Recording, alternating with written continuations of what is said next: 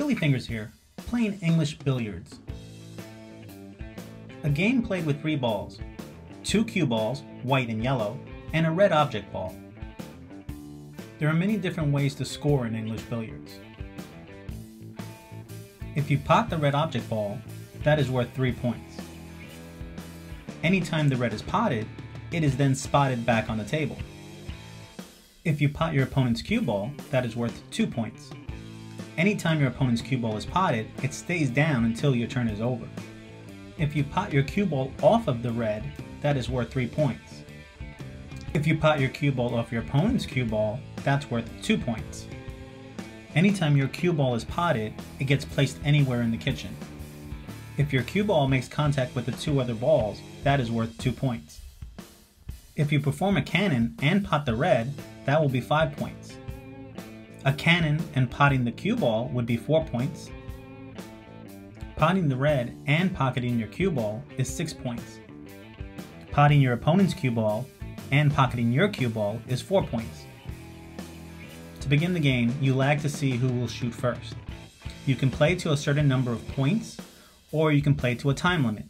When time expires, whoever has the most points is the winner. Here we will play to 60 points.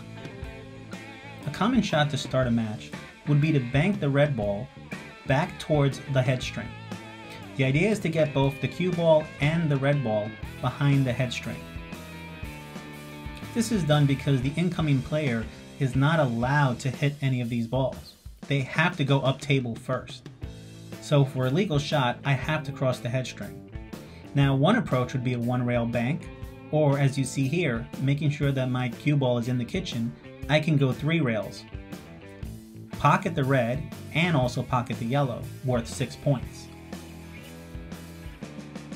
A more aggressive way to start a match would be to attempt to bank the red ball into the corner pocket. This will give you 3 points and start you on an early lead. And as you see, the red ball always comes back up into the same spot. It's the same spot where on a snooker table the black ball would be placed. Now I'll attempt to pocket the cue ball off the red ball, and as you see that's 3 more points. Now unfortunately the red ball went past the head string, and with cue ball in hand, I have to always shoot past the head string. So one option is to cross the head string with enough right English to pull the cue ball back so I can make contact with the red. So I played safe. Now my opponent comes to play, and he will utilize the yellow cue ball. Now he has the same dilemma where he cannot hit either ball because they're behind the head string. So he can do a similar shot where he'll go three rails and make contact with the white, pocketing that cue ball.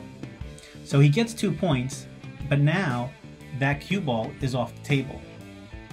By not having that third ball on the table, it really limits what you can do.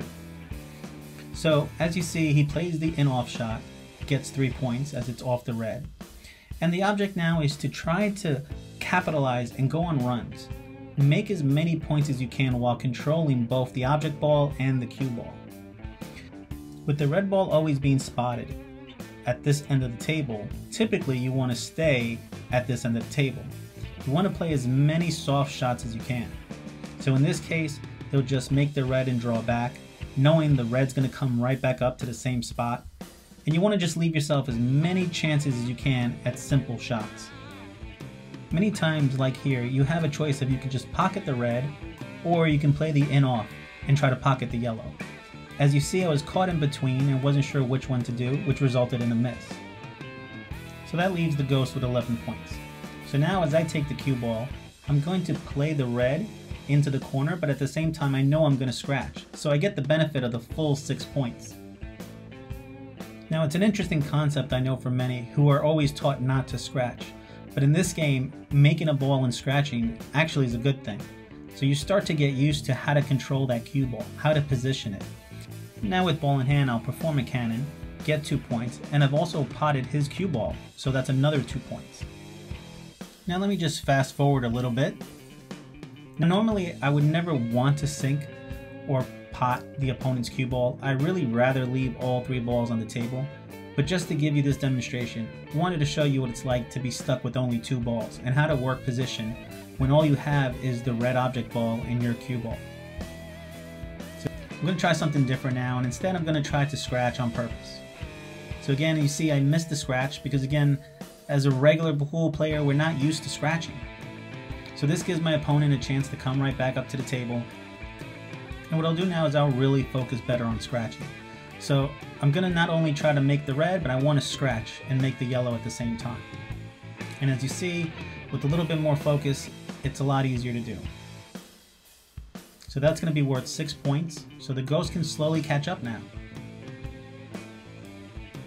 As I fast forward the match here, I want to point out that what makes this game very difficult to play is actually playing it on a proper English billiard table, which is actually a snooker table that's 12 feet. Now, snooker tables are actually English billiard tables. English billiards came first.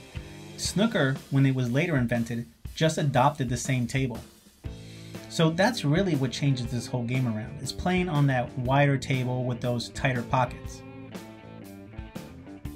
Once you're able to master all the different ways of scoring, whether a cannon, an in-off, possibly potting two balls at once, it can change how you view the game and how you go on certain runs.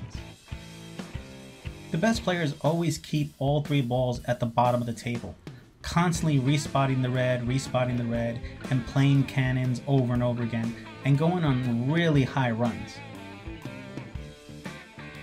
And once in a while, you want to play safe, because as you see, I went on a run and I was at 55 points, but with that uncertain miss, the Ghost now has an ability to catch up very fast. He's at 33, he's just potted again, now he's at 38, pots another red for 41. Now he has a simple cannon, 43, another red for 48. Now it's getting a lot easier to scratch on purpose. So there's 50. I'm now going to attempt the cross bank, this is going to then take me to 52. Now all I have to do is make one more red, and I tie the game. So here we go, take my time, cut the red in, tie game at 55. So the ghost has caught up relatively quickly.